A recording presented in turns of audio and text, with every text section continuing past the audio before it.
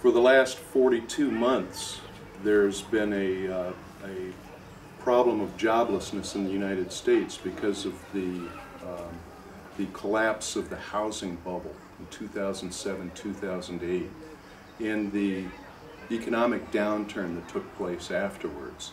There's been, been a slight recovery from that, but the number of jobs that have been added on are not even keeping up with the increase in the population over the intervening time. So there's just as many people out of work now as there were at the height of the last recession. In the meantime, we have an ongoing crisis of the euro in Europe. And if this crisis uh, brings an explosion of the euro, there will be an immediate effect in the United States because the finances of the of U.S. banks are tied in very closely with the European banks. So a collapse of the euro is going to have an immediate effect in the United States, and it means even further cuts, further job losses, and further uh, unrest inside of the United States.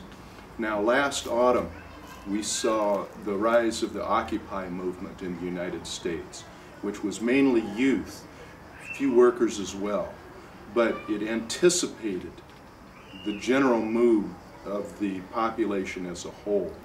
Uh, as always happens, the youth always move first. We saw this in Greece 30 years ago with the youth movement that anticipated the uh, Greek crisis. We saw it with the Indignados last year in Spain and we see the rise of the workers' movement today with the miners from Asturias um, and their mobilizations. We see the same kind of, uh, of uh, impact or the same kind of uh, um, um, idea with the Occupy movement that happened last year, anticipating moves from the rest of, uh, of American society. In the meantime, we have a political system in the United States in which there is no organized expression of the interests of the working class. We have two political parties that are representatives of the bourgeoisie. We have the Republicans and the Democrats, who have virtually the same political uh, program. Their only difference is their, uh, the way that they explain what it is they do. In 2008, there was a, there was a massive um, sentiment of hope and change behind the election of President Barack Obama. It took six months for all that sentiment to disappear, and it isn't is no longer a, a factor in politics in the United States today. The most that the supporters of Barack Obama in the 2012 election can say is to be afraid of the other guy. There's nothing positive about the campaign of Obama that addresses the needs of the, of the workers or the, or the youth today. And there is no expression of the independent needs of the working people in the election. One of the things that uh, the supporters of the uh, international Marxist tendency in the United States have been um, campaigning on is the idea of the campaign for a mass party of labor. We have raised this uh, amongst workers and youth as the logical next step, the need for a labor party based on the strength of the trade union movement that could attract all of those disaffected elements of society and put forward a program that addresses the needs of workers and youth.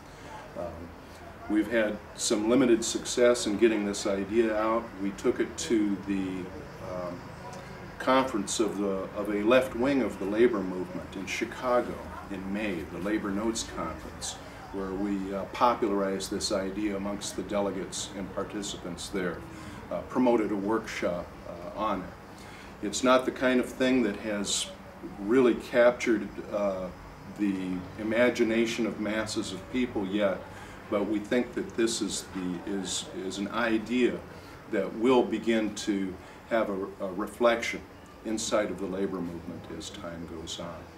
In the, in the meantime, uh, there is a lot of dissatisfaction in American society. There is no political expression for it.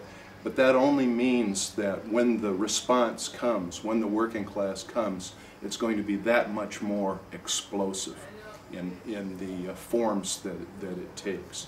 So in the meantime, we're continuing to do the work of patiently explaining the uh, nature of the, of the world crisis of capitalism and of the, the road that we need to take forward, and above all, the need for a socialist program to address the needs of the working people.